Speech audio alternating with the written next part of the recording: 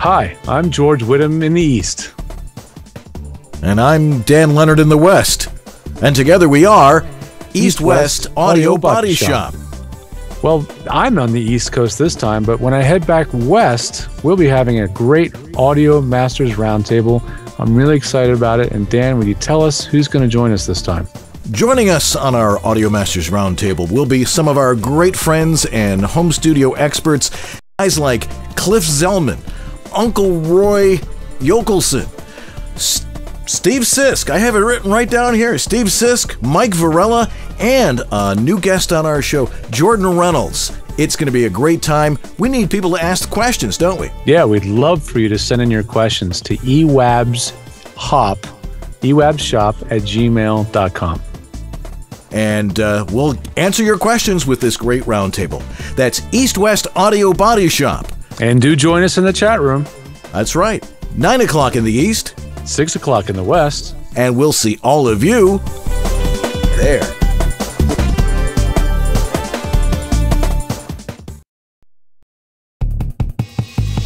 He's the home voiceover studio engineer to the stars in Los Angeles, California. A Virginia Tech grad whose knowledge of the latest recording gear is second to none. He's a voice actor and the home studio master, hailing from Buffalo, New York. His home studio skills and knowledge of voiceover recording is unmatched. When Dan and George talk shop, people listen, and the talk continues tonight. Welcome to East West Audio Body Shop. And now, live from his high tech facility in Santa Monica and his penthouse studio in Buffalo, here are George Whittam and Dan Lenard.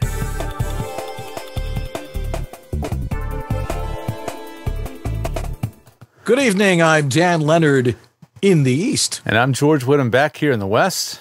And together we are East, East West, West Audio, Audio Body, Body Shop. Shop. yeah. I heard an echo. here? there must be some more people here tonight. There are, there are. Well, we've got a great show tonight. First, but we got to tell you because we know you guys want to know this. We have to thank our incredible sponsors for East West Audio Body Shop because without them, you'd be watching a commercial of something else. You've been watching some Uh, random national ads popping up at whenever Yeah, they want. which would be bad. But uh, Harlan Hogan over at VoiceOver Essentials, VoiceOver Extra, and your employers. EdgeStudio.com. Yes. Yes.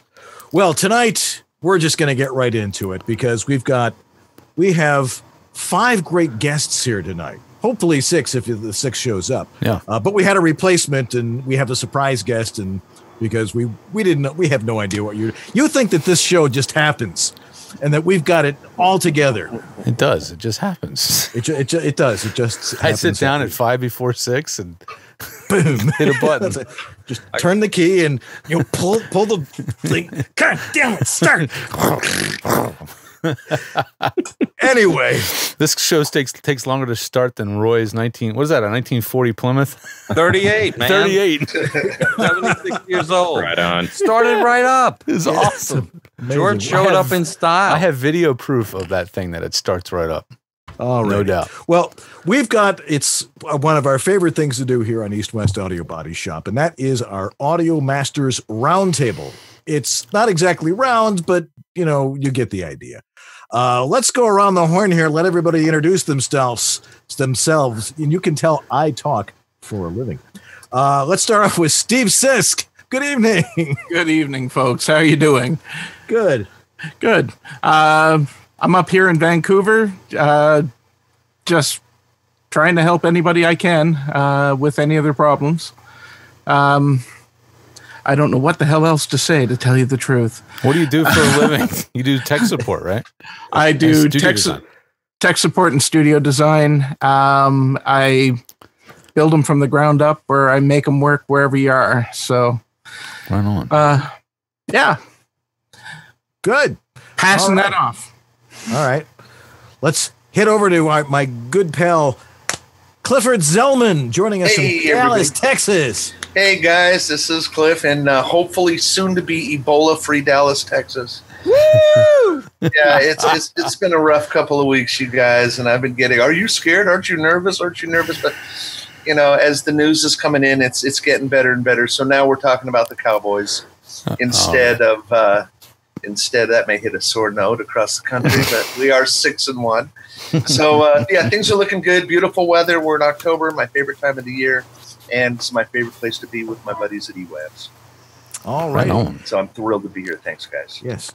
And a fresh face here on East West Audio Body Shop. Guy we've wanted to have on for a while because he keeps coming into our chat room and, and we see him all the time. Uh, Jordan Reynolds. Hola.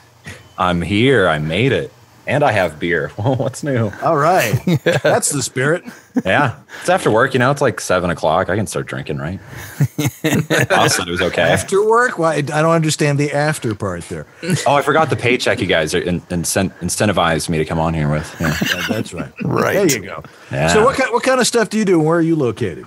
Uh, I'm in Denver area, Colorado. Um, I'm primarily a voice actor. That's you know what I make most of my money at. But I happen to be such a geek. I have an IT background, and I just love the audio stuff. So for some reason, people happen to pay me to help them design their home studios or troubleshoot their acoustics and help them select gear. So I've helped uh, either local and remote talent with audio issues for a few years now, and so I guess I know a few things, and you guys happen to trust me to come on here and not just drink and watch. So I'm here. It's early yet. Thanks for having me. I'm excited. Joining us from Los Angeles, one of our favorite people, a guy who's known as some audio guy. We've had him on before. He knows his stuff and he's he's in the heart of the business there. Juan Carlos, good evening. Hey everybody, uh, West Coast represent with uh, with George here. It's uh, it's great to be back on the show again. I'm a casting director here in Los Angeles, and uh, like I, I think a, a fair many of us, we've also been tapped to do uh, uh, you know audio consultations and home recording kit and uh, helping people and advise studios and troubleshoot their issues. So uh, I'm always glad to be a part of these because these are a lot of fun. Excellent. And joining us from the East Coast, as far east as we can go tonight, uh, one of our definite favorite people. Why is the Emmy not there? I see it in the back. It's next to the bowling trophy. Oh, okay. Bowling trophy, 1997. have them all lined up, and then, and then we have the Emmy and the polishing rag, which used to be an Edge T-shirt. I'll have you know. Nicely done. Edge, keeping Nice. your trophy shiny since Since 2005. That's right. Oh, I I'm in w- beautiful uh, uptown Bloomfield, New Jersey. We just had, as half of the chat room know, and everyone here knows, I just had my ninth annual VOBBQ.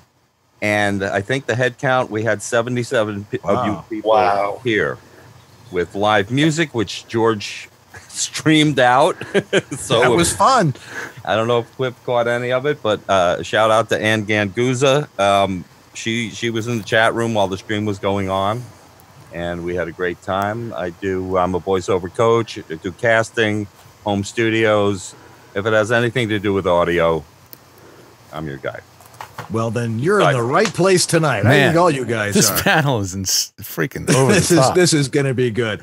All right, I've got about five topics here I want to try and cover tonight, and then we've got a pile of great questions that were mailed in from our voluminous audience, and some of them are more interesting than others.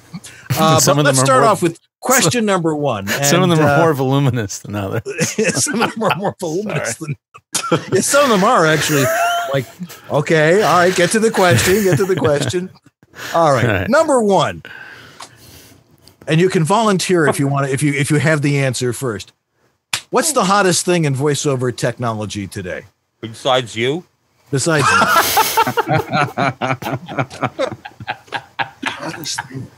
I have the answer. Go for it uncle roy No, Go, no, Uncle Roy. no, that was my answer. Somebody else goes. Now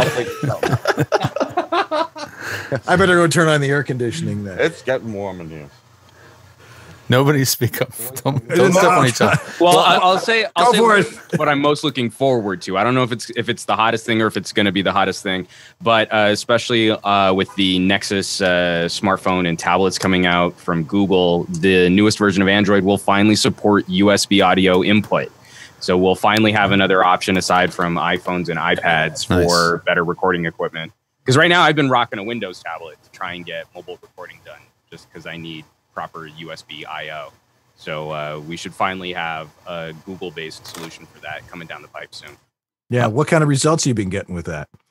Well, with the Windows tablet, it's been pretty solid. The the uh, the lack has been on apps because iPad obviously runs away with all the software, but the hardware interface has been better, I think, because most of these Windows tablets come with proper USB ports. So you kind of have the pro and con of you know hardware versus software, which we've always had, you know, depending on what ecosystem you want to play in. But I, I think more competition is always going to be better. So getting Absolutely. Google users on board and having another you know, like humongous uh, chunk of the ecosystem finally able to compete, uh, I'm really looking forward to that. Excellent. Jordan, you're the youngest one here. You gotta know what's all the hot stuff them kids is using. I'm older than you think, Dan. Oh, okay. Um, I'm just kidding. but uh, I don't. Man, it's hard to pick one, but I, I, I think the Apogee um, mic is really blowing up. I like how it sounds uh, for and how portable it is. I don't own one, but I've I've used them, and and the audio examples are ridiculous. Um, that's one that comes to mind. Um, and what, what I had another one on my my brain, but I'm fried. Um, oh, I, th- I think the Kaotica eyeball. Sorry, Cliff, did I steal that from you? Not at all, brother. I, that's what I was predicting he was going to say. But um, ju- just from hearing samples from, I mean, that thing's blowing up.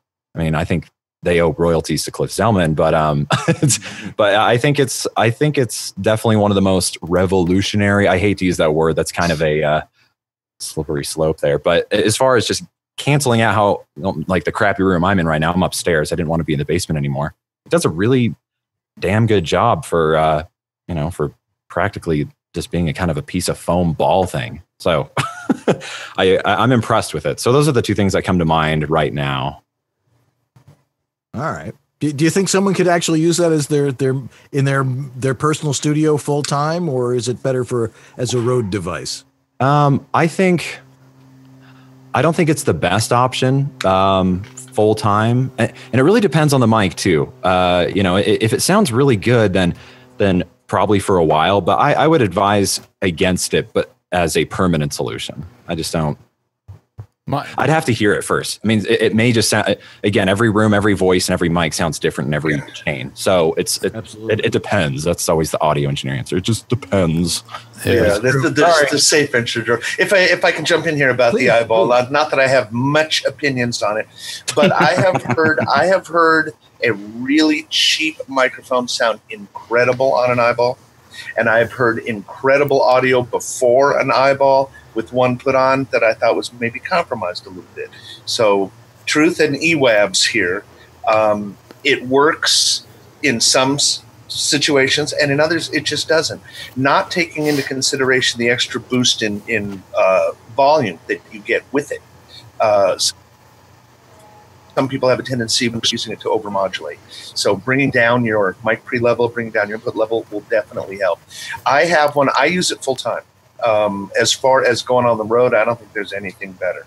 Um, but like I've said before, it's strictly a tool, you know, and sometimes it works great for people.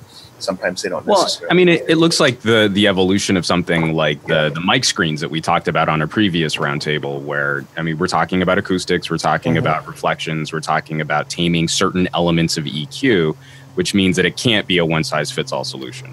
No, it is not. But it, it, the amount of room reverberation that it reduces is amazing. Yeah. The amount of room noise it removes is negligible. You know, it's still an open Two different line. issues. That's that's the whole. completely different issues. But I mean, if you need, if you got to record in your fourth bedroom, and it's not set up, an eyeball is terrific. I'm gonna jump on the eyeball uh, one more time because it's so spongy and everything. Uh, I had to set up somebody's home studio. They live right across the street from New York City, and they've got helicopters and sirens. And I went to every room in her house, and the the heat the heat was on or the air conditioner. Every room had noise except the bathroom, which is Studio B. and and I put a Harlan Porta Booth Plus with an eyeball in there, and with a little EQ. She's doing audio. didn't sound like this at all. No, no. I mean, look, it's not it's not perfect, but for her, for what she's got, it's really her only option. And like I said, with a little EQ and a little help from me, it sounds damn good. Nobody's Nobody's going to not want to listen to this audiobook. Let's face it, we've heard a lot worse audiobooks. Yeah. I, uh-huh. I, I think Yeah, for really. me, it's I have one, and the problem is I think I haven't tried it using it in the situation in which it was designed to be used. I've only ever mounted it up on a mic here at my desk, and since my room is already acoustically pretty dry and is full of diffusion because it's completely cluttered and it's got acoustical panel, you know. So for me, all I did was hear is the way was hear the way it changed the sound of the mic. Right. And for me, it wasn't for the better. So I think it is very much a case by case. I need to take it with me on a trip one of these days and use it in Yes. a real world situation and see. And what it, maybe someday they'll make a model that'll fit a 416. Who knows? And Yeah. It's coming out the end of the year. Okay. to, Now, uh, wait a minute. Am I the only one who's who's using a dynamic mic right now?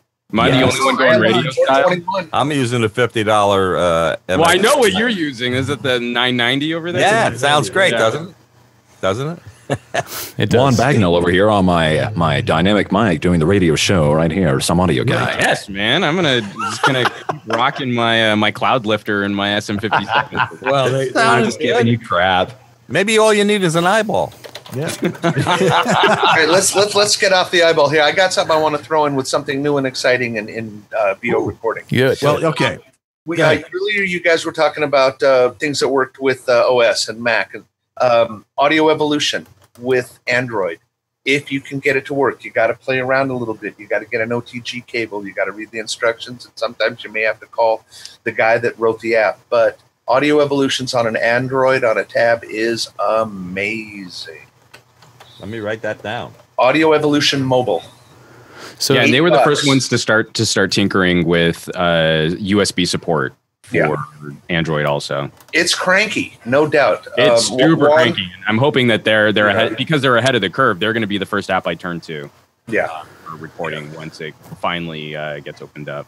Is, It is took the uh, me- oh sorry, Cliff. No, Uh, I- it, it took me about two or three days to, to get connection and get it to work the way I I wanted it to and the way I expected it to. But once I did, the order that you turn them on, when you launch it, you know, there's all these things. But once you get it to work, like I said, it's cranky, but it's really neat. And on a tab, on a full size tab, it's eight dollar Pro Tools, which is which Wow. is yeah, it's just pretty solid.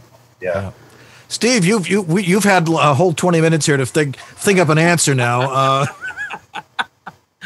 Uh, actually, as far as cutting edge stuff, I am dry. Uh, however, uh, the thing that's I'm finding more and more cool and useful is the Apogee One version two.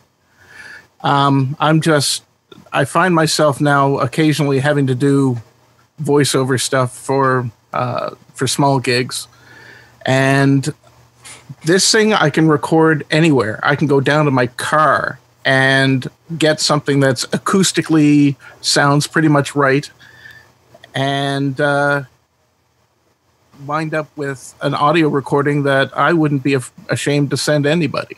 is this the Ab- is this the Apogee mic or the Apogee One? No, the one the, the new Uh, one that the new one.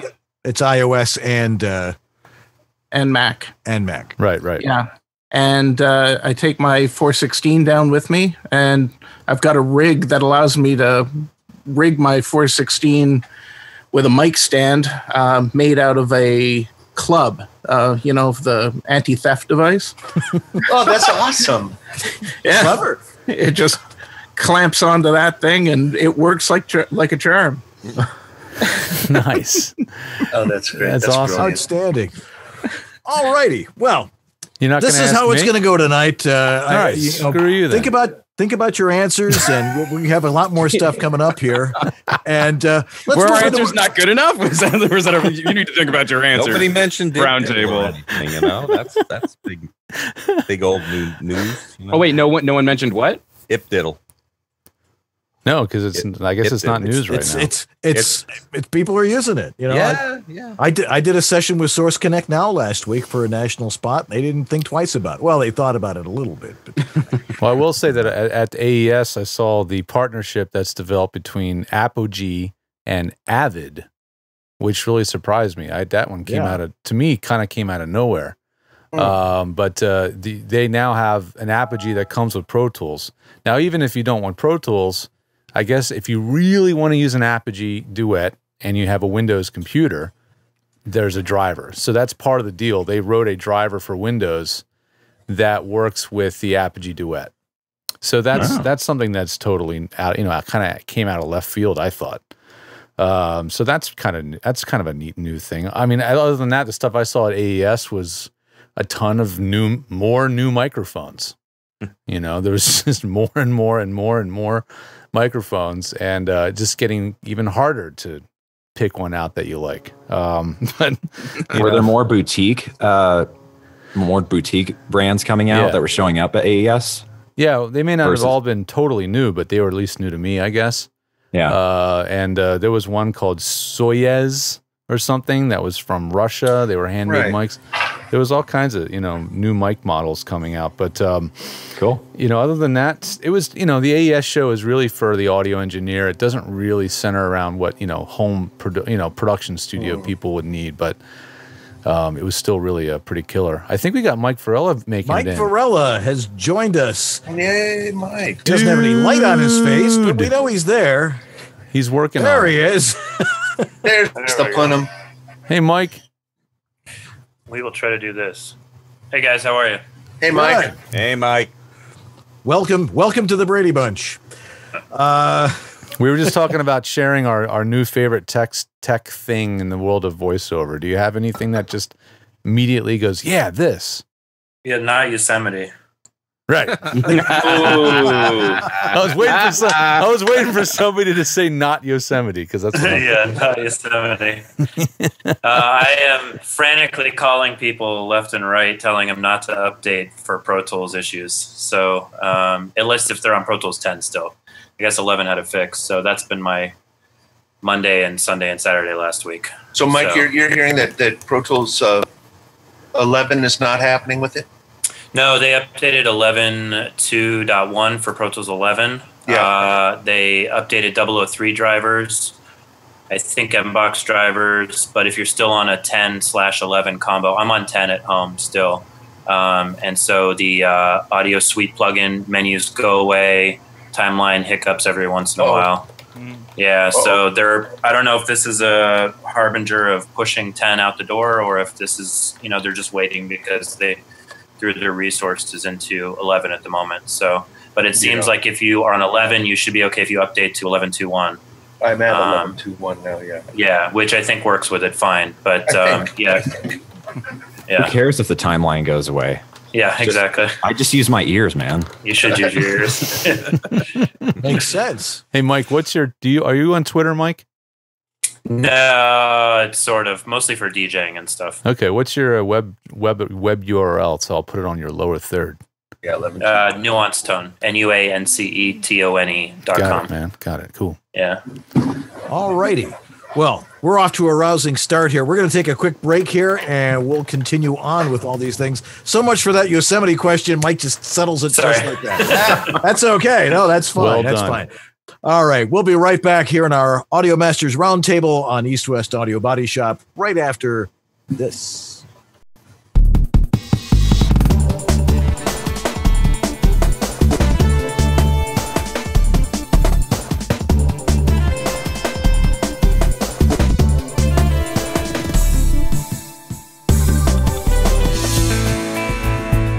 VO Studio Tech. Recording made simple. Hi, I'm Peter McHugh. This is Jim Tasker from Los Angeles, California. Hi, this is Bill Ratner in Los Angeles. Hi, this is Scott Rummel here in Yorba Linda, California. Hi, my name is Rick Wasserman. Hi, this is Tom Kane. Hi, my name is Vanessa Marshall. Hi, my name is Zurich. Hi, I'm Mary McKittrick. Randy Thomas chiming in. Hi, this is Joe Samansky. Hey, this is Rick Robles. Hi, my name is John Patrick Armstrong. I was turned on to George by none other than Don LaFontaine, who always swore by his help. George is absolutely awesome. ISDN, Source Connect, Phone Patch, FTP, you name it, George has set it up. It's really the best thing I've ever done for myself. I feel free, safe, fearless, like anything is possible in here. Unless you like to look for opportunities to waste time, call George. And he did all of that long distance over the phone and the internet. I'm very happy with George and uh, I cherish him. Thanks, George. You make it easy. George and Dan. EWABs. They make our lives so much easier.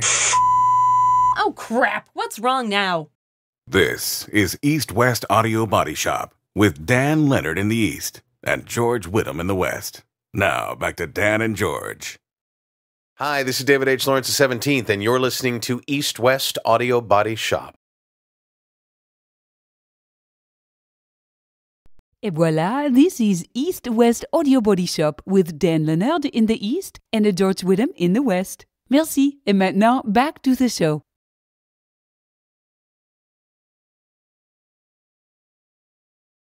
You're watching East West Audio Body Shop with Dan Lenard in the East and George Whittam in the West. They're nice guys, but every time I'm there, they never let me make water. So I'm going to go make water right now. I'm a grown man.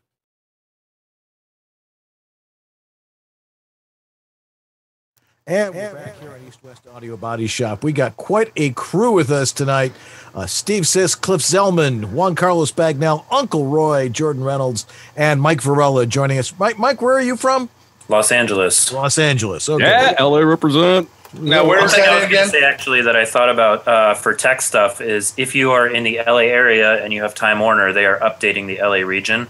Yes. Finally. Yes, and I went from uh, a 15 by one down to a 55 by five pinned uh, for the last three days, and it's been amazing. So um, if you have Time Warner for some reason out here, call them or at least bring in your old modem and they'll switch it out for you. That's why you look so young, I think. right. and finally have all the extra resolution I- so we can see. Yeah. Like, I'll, I'll tell you, I've been on FiOS and I'm getting 80 up and 80 down. It's Yeah. That's what I want. Duplex, though. I mean, I- that's I'm in an area that I think I'm going to get bumped up to 50 down, five up. They won't And go symmetric. Yeah, they're not. That, that they're drives not. me crazy. No plans to do it. Only FiOS. Yeah. Alrighty, Competition well- is good. That's all I can say. Yeah. Uh, let's move on here since we've got we. I think we have a record number of people uh, watching the show tonight live. 48. Uh, it's uh, it's it's hot. So let's talk about what they're doing. Um, because we all hear other people's audio. We're all fixing people's studios and listening to other studios. Is personal studio audio improving? I mean, hopefully we're all helping. But are you hearing improvements? People improving their skills and uh, that sort of thing. Uncle Roy, why don't we start with you because you hear a lot of stuff. I think that's where it's lacking is in the skills what people perceive as oh I've edited my track and they misuse noise reduction and they take all the breaths out and don't uh, adjust for any pacing.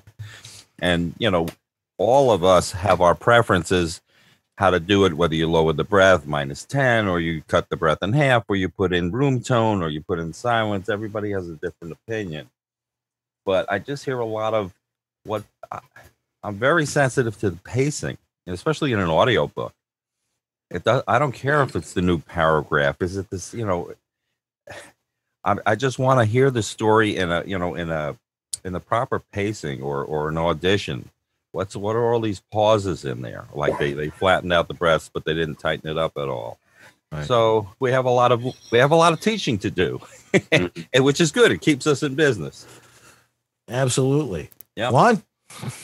Yeah, I I mean I think the tools have gotten better, but we also have this sort of cat and mouse game. I mean, because I completely agree. It, it's it's uh, as the tools get better, there's still an issue with education, and so uh, you can you can kind of tell where someone's at because I handle mostly commercial work, not not audiobooks. But you can kind of tell where someone's at, where they're going cer- through certain fads. Like they go through the normalization or uh, over compression fad. They go through the over noise reduction fad. You know, like, and you can kind of see an individual voice actors technique improve and it usually takes them a couple of years to get to a point where they don't sound awful but as a general trend um, you can kind of see where this influx of new talent comes in they all go through the exact same mistakes uh, it doesn't really seem to matter how good the tools are. It just takes that little bit of time for them to figure out what their sound should be. Because that's also part of it. I mean like part of it is is the the branding of what their vibe and their personality is kind of goes hand in hand with their technical sound you know what, what they're trying to achieve uh, with their with their recording chain. So that that's kind of that's kind of where i've seen this all go. But I, I will say the one thing that I, I think has been a nice just sort of overall umbrella is that we're kind of out of brick walling everything. Like even even for commercial auditions it used to be like everything was pegged at like negative 0.1 like a solid wall of audio and it would sound tragic. Um, and we're finally kind of backing people off of that so i'm happy. The FCC doesn't like that. yeah no one does. And, and i still think we have a ways to go in for commercials here on the fcc's uh, side of trying to rein in that difference between show audio and commercial audio Yeah, but I, I'm- I, lo- I love listening to stuff from Europe because it's yeah they're they're they're they're really jamming it. Yeah, it's I'm not exactly sure what that's. We'll have to get somebody Europe. I don't think we've had anybody European on this show before. Here's my opinion. I think the, the in the U.S. we're the trendsetters, and in Yeah. Europe they're like ten to twenty years behind with whatever trend that we set. That's my opinion. America. I wanna One more thing about the tools. You know, people with excellent audio, or they heard RX4, and they Yeah. bought and they get it, they, and they don't need it, but they heard that's the latest thing to have. Right. But your audio's clean already. What do you? Well, and and I just had a recent doing? coaching client where we went through that exact same thing where he was running I think six or seven different plugins and he had two different compression stages and it didn't make his audio better. I mean, you know, like we we also get kind of hung up on this. I'm going to run this plugin and it's going to make it sound different. And you ask him, well, why are you doing that? What is it that you're trying to highlight? What is it that you're trying to accent? I mean, is there a reason? He's like, well, no, it just sounds different. Like that doesn't necessarily mean that it's better, guys. That's that's right. just different. Yeah, Cliff. Well, what I think is is really encouraging, and I, and I don't want to get into the uh, the user technical end as far as hardening compression or anything that's. But what's really neat is that VO talent in the last two or three years are really starting to understand that it's the environment, and yeah, more than their technical skills needing to improve, what I really heard was the environment needed to improve. And and as time is progressing, I'm hearing less and less of an environmental issue. And I think that's really neat. Thank you, Dan and, and George, for you know really stressing the fact that before you do anything, let's get where you're recording up to speed and uh, get it sounding good, and then you can work on the equipment. And that's really what I'm hearing. I'm I'm hearing environment sounding good, not like the bathrooms that they used to sound like uh, when people first started their, their uh, home personal studios, you know, five, six, seven, ten years ago. Yeah, the environment is is kicking up, and that's really important. Steve? Well, I find that actually some of the older, uh, more established guys uh, tend not to tend not to be as open to learning uh, how to use their gear. Uh, I get more phone calls from guys who have been in the business for decades than I get from people who I've newly installed gear for, and they've taken up the mantle and have started you know, learning how the gear works themselves. So I'm not sure uh, what that says to the uh, to the state of the union, but it's I, I still get calls from guys who I've known for ages who will call me up with the simplest questions, and uh, all they want to do is be able to turn on the microphone and talk. They don't want to know, man. Exactly. They don't want to know. They really, it's like, it's like, uh, they get really almost not, I don't know, belligerent almost when they have to think anything about anything technical, despite the fact that they're making X fill in the blank zeros every year.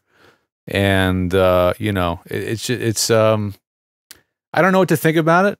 Maybe it just comes with the territory. Maybe it's the pressure they're under because they do 40 to 60 sessions a day sometimes. I don't know, but I kind of think of it from that perspective. I just assume that these guys are under a lot of stress and that anything that they that I can do to, re- to relieve that stress and dumbify their studio is is a good thing. So, but it's true. It's like I can't believe some of the questions my uh, most well-heeled clients will uh, ask me sometimes.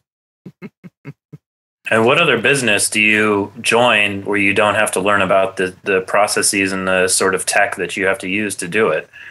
You know, I mean, it's you don't have to go as far as learning how to master your audio, but at some basic level, you should be able to plug in a microphone and understand the basic process of recording because this is how you're making your money. You know, yes. I, I think and it- it's the same thing with a camera or with a truck or whatever else you do. You're kind of on the hook for learning at least the basics of how to do it and have an educated conversation with someone who can come in and help you out. But you got to know how to do at least the basics. Otherwise, why are you in this business? You know, yeah, there's an art to the voiceover part, but you know, the tech part is the way it is now, and this is the way it's moving forward. No, there's an So, art. You know, it behooves me to come to the book.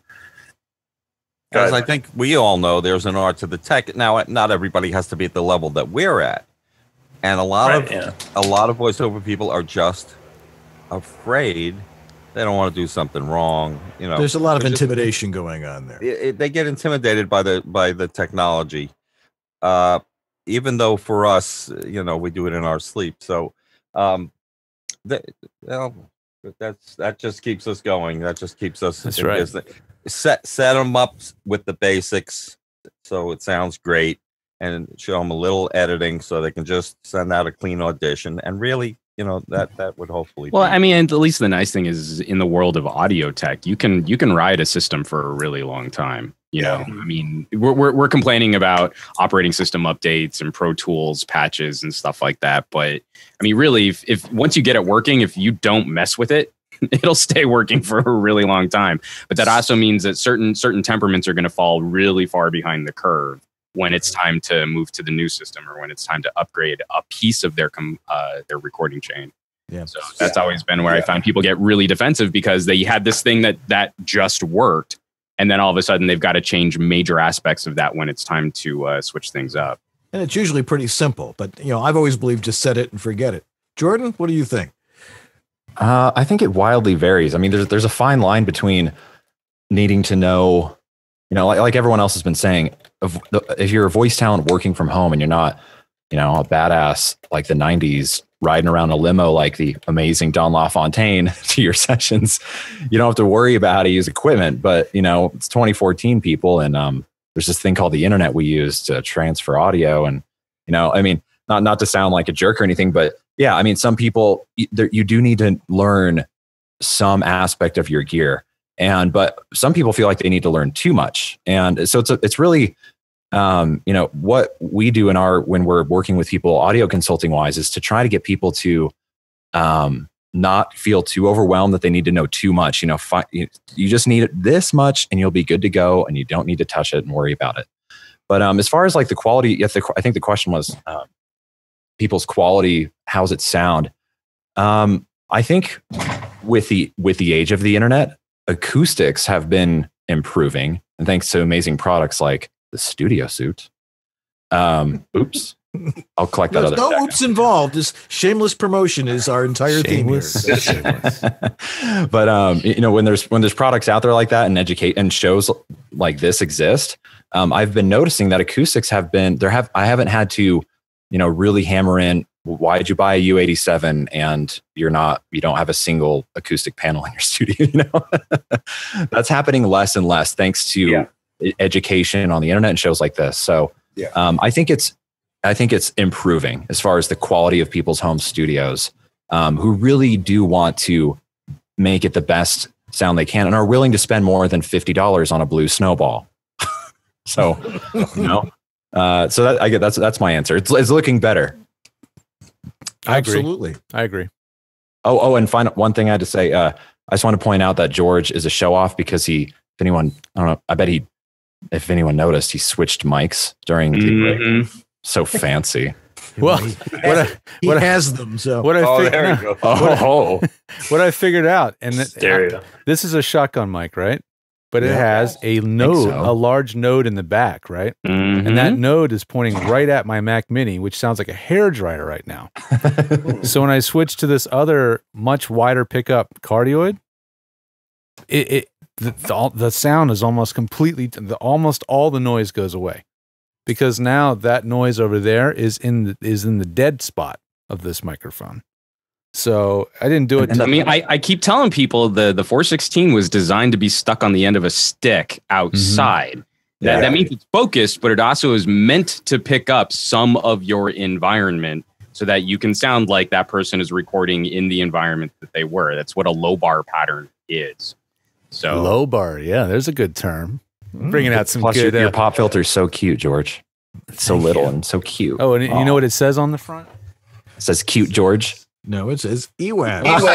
eWabs. Oh, I need one A now. limited edition run of our, our Very- eWabs. uh, Very pop limited screens. edition. Yes. I'll expect one of those with my check after the show. Thanks. Yeah. No, I don't think there's any of those left.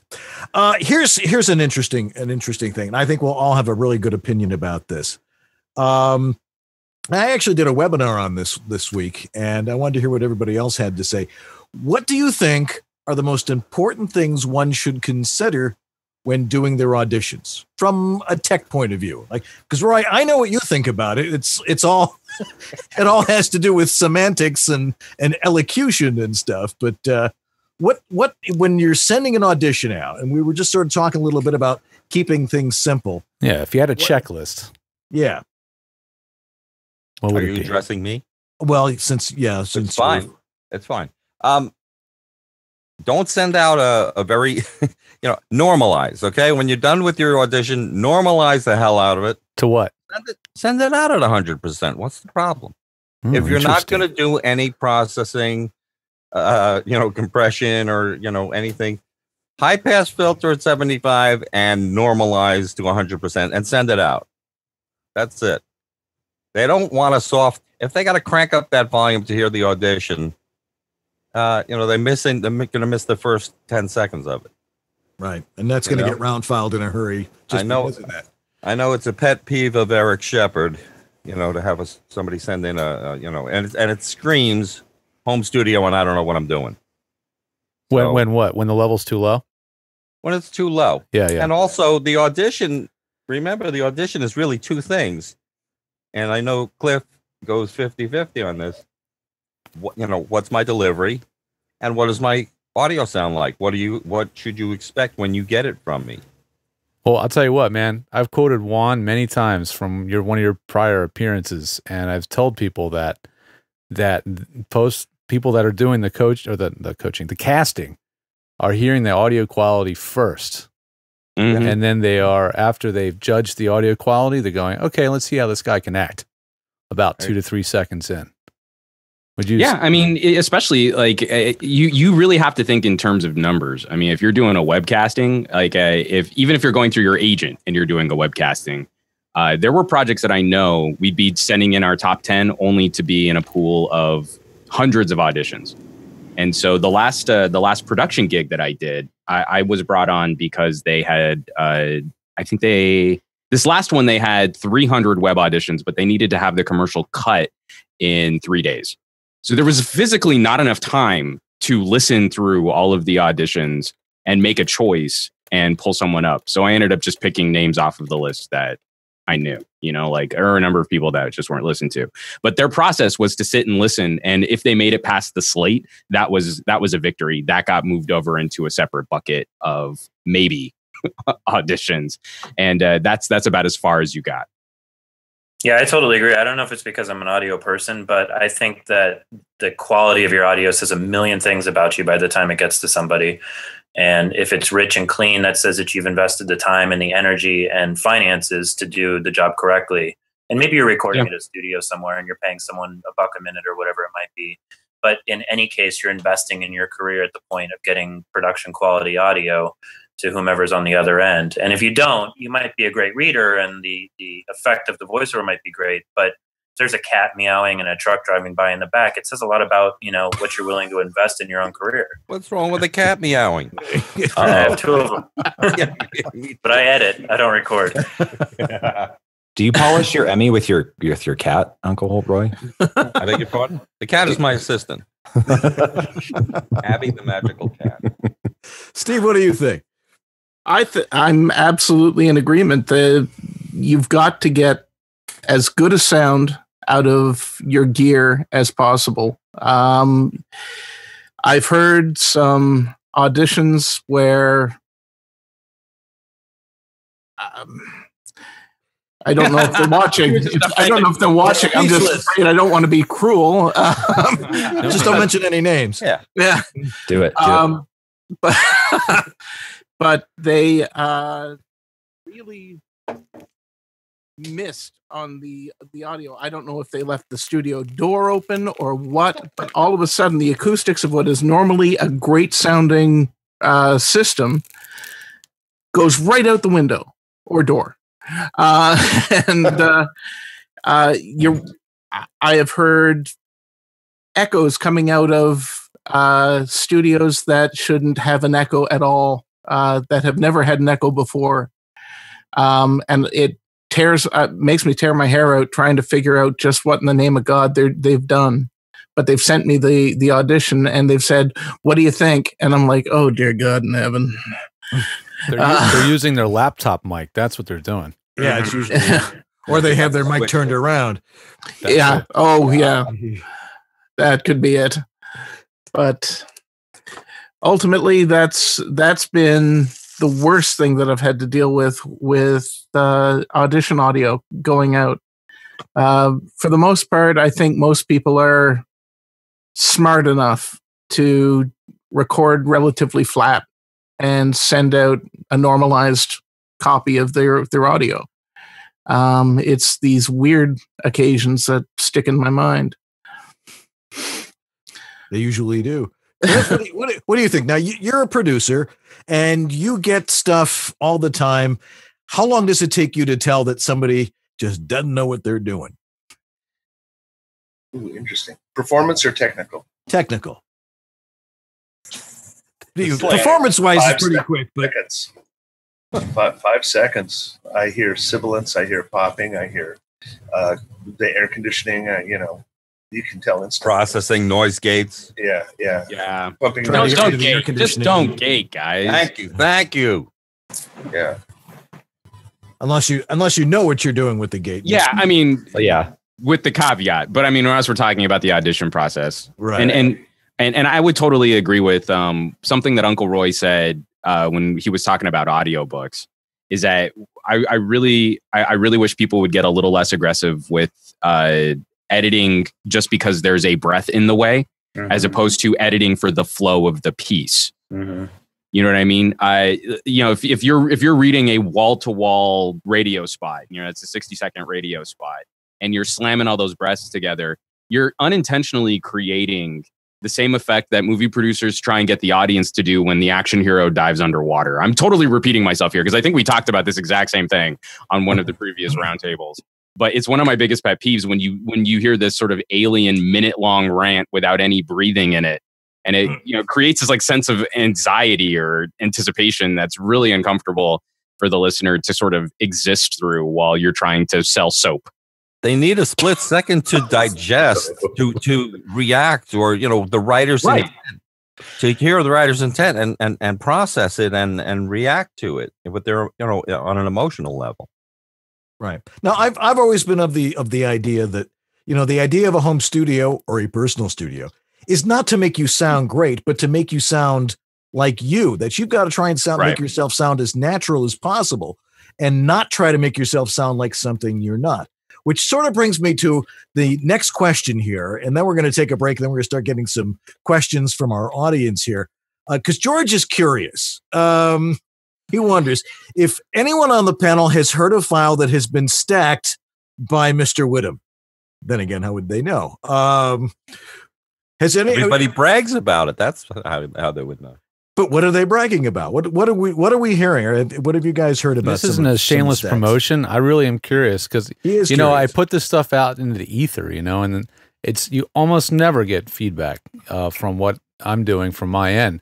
And you know, I, I set these things up for people, and the, there is high pass filtering, there's downward expansion, there's compression, sometimes there's de-essing, parametric EQ, graphic limiting, all this crap. And I'm just hoping that what my tastes are and what this should sound like are what are getting people hired. And I'm just curious if anybody has ever actually heard anything that they know I might have touched. Oh, I'm sure I've heard something, but I've never. Uh, There's no way to know. I, I, I didn't. Yeah, I, I didn't know specifically. Yeah. i mean I it's, it, it kind of seen- comes down to that if you're doing your job well no one should know Yeah, nobody should hear it. Yeah, Yeah. exactly. Precisely. Precisely. I mean, that's what I tell everybody. I, I liken effects chains or any kind of effects processing to somewhat like uh, if you have you ever seen a film? It's like a romantic, epic, uh, dramatic film, and at the end there's this huge section of special effects, and you're going, Spe- what what special effects? Right. I didn't know there was any special effects in this movie. It was it was this romantic film. I was lost in the film.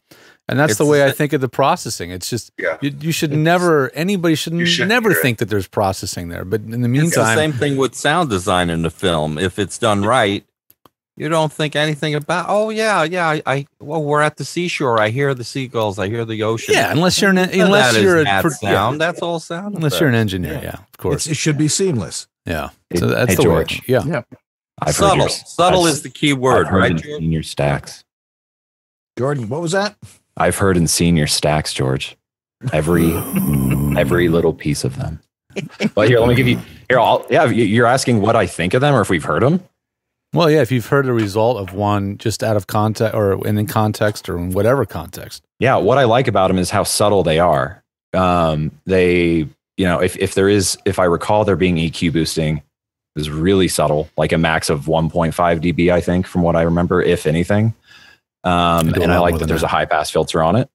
Um, the downward uh, expander, which you know acts like a gate in a sense, um, usually works pretty well on like the room noise stuff. But it's always risky because like if someone changes their like if they get a new um, little bit. like if they if their room gets quieter or they don't have enough gain on their mic in that particular day, then it can start cutting out, like cutting off the ends of words. You know, yeah, that's why I make that's why I make them normalize to minus three Exactly. before they apply the stuff. Exactly. If they sk- skip that step, all, all bets are off. Yeah. It's total So- sh- crapshoot whether it's going to work or not. Yeah, but what I like about it is that it's subtle, which is you know Juan was saying earlier how it's um it's moving. You know, stuff is starting to sound more natural and breathable, and not just like limited to all hell to where it makes your ears bleed. Yeah, So- I mean, my tastes have changed, or just maybe it's my experience in hearing more of what really works. But I definitely think I'm getting less heavy-handed, unless someone says they specifically want something for radio, a radio Yeah. imaging or something. Then you know, go to go to town. But yeah, exactly. Well, actually, and on that topic, just uh, I I I, I uh, didn't get to answer the audition question, so just really Yeah, quick, please. The um um, what was I gonna say? Oh, what I hear a lot of times on auditions, because I've been involved in some casting and and you know and helping people set up their their chains and stuff, um, is it, this is going towards all those you know the, the Bob Sowers out there, uh, all the all the deep voiced guys. no, I'm not saying all of them do it, but there are more than I would like to say where I hear they're adding. It sounds like 3 dB of of EQ boost at like 100 hertz. Mm-hmm. And I, I know it's not their mic because I know what their chain is. And I'm just telling all the all the deep, the deep, amazing voiced guys out there, you don't need to boost it down there because your voice is already ridiculous. What So- happens is, is it uses up headroom that you're not Yeah. hearing, Yeah. and it competes with the output of your stereo bus. So you're losing actual, you know, headroom by Well, yeah. having things in And- that, and- that don't count. Totally, and especially in, in, in this group of people, and someone correct me if I'm wrong, those are often the voices that need a little help in the upper mids. Yeah. It's Yeah. that texture, it's the buzz, it's the edge, it's the rasp that all of a sudden will make that voice stand out so much more. If I'm listening to 30 guys, all with these muddy, bassy, normalized leveled recordings with these EQ bumps to make them rumble more, it's actually getting rid of the things that actually make that voice distinctive.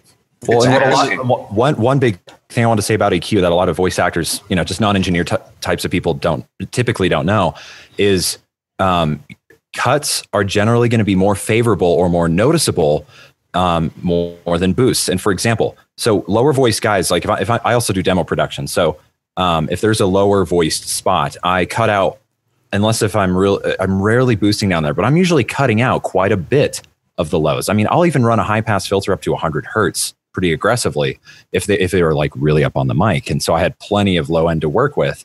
But when you cut out the low end, what happens is is the human ear it will naturally open up, if you will, the top end, and it sounds like it's actually brighter to the human ear without any boosting on the top end. All you do is cut some of the low end, and then all of a sudden the top end sounds. It opens everything up. It's more flat, but it almost sounds like it has a more crisper, boosted top end, but it sounds real natural versus boosting the low end or just boosting the top end. Try cutting out some of the low end and really see how that that top end sparkle can come out because that generally is more. Uh, net, I, I, that is what I prefer to get a better top end first than to just start boosting the top end. Especially if you're going to add music, because that's going to cut through a hell of a lot easier. Yes. Uh, the, back in the day, the the standard EQ on a on a Neumann 47 or 48 was minus two at 100 and plus two at 3K. That was the old radio. Love it. Know it well. Stand. That was the, that's what me and Cliff were doing back in the when the Yep. dinosaurs had microphones. Yep. Yeah. Uh, there's a anybody that's hung out with me for a while. Uh, I may have told this very quick joke, but a CNN reporter was uh, interviewing Michelangelo and said, "How did you create a beautiful statue of David out of a chunk of marble?" And he said, "I simply chipped away everything that didn't look like David." So Ah. repeating what uh, and and applauding what Jordan said, it's absolutely true. Take away the frequencies you don't like before adding the frequencies you think you need. They may already be there. That's Right. right. Uh, Jordan. Subtly, Uh, though. Oh, Jordan. Yeah, but subtly, not major. Yeah. shift No, no, no. like that. do it do it slowly you know take away things that that uh, you know you don't want to hear Another way to do that, you know, another way to do that is to boost and find the stuff that you really don't like, and then and yank it then out. take it out. That's what I do. That's the way to do Yep. it. All righty. Well, an hour has rolled by already, if you can believe that. We are having so much fun. A pile of people watching the show live, and uh, we've actually maxed out the chat room for the first time. I Yeah, think, we have. ever on the show. Oh wow. Now, whether they're whether they're listening to the show or watching, who cares? They seem to be saying hello to each other a lot. We're going to take a break right here, and we're going to get into some of your questions here on East West Audio Body Shop with our Audio Masters Roundtable. So don't go away.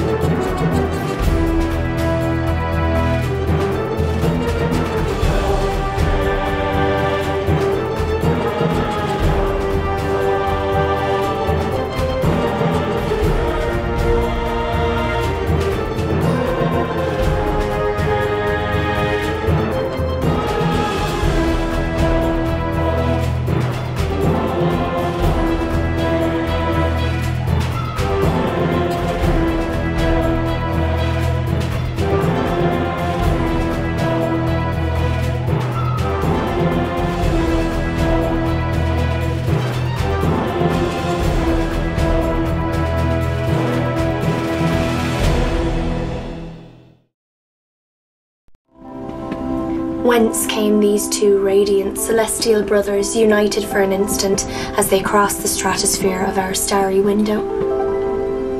One from the east and one from the west. Very good. East West Audio Body Shop. Voiceover, the best tech, talk, and technique weekly live and online one to two hours you could spend. It podcasts too, Sundays at 9 Eastern Standard Time. Ustream. Search eWabs. East West Audio. And now back to the only webcast done with two cans, two geeks, and a string. East West Audio Body Shop with George Whittam on his end in the West and Dan Lenard in the East.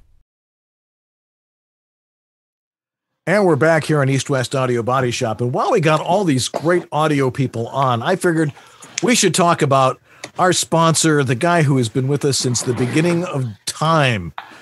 Because Father nothing, Time? Yeah, no, nothing actually existed before eWabs. It was just a void, and there was never mind. That was another book I did. But uh, but Harlan Hogan has been with us with uh, with VoiceOver Essentials since the beginning of eWabs, and he's got some great stuff there. Uh, and it's the kind of stuff that is going to make your life easier because it doesn't suck. It's good stuff. He doesn't he doesn't have really expensive stuff, but it's some of it is his own. And if you need it, he probably has it.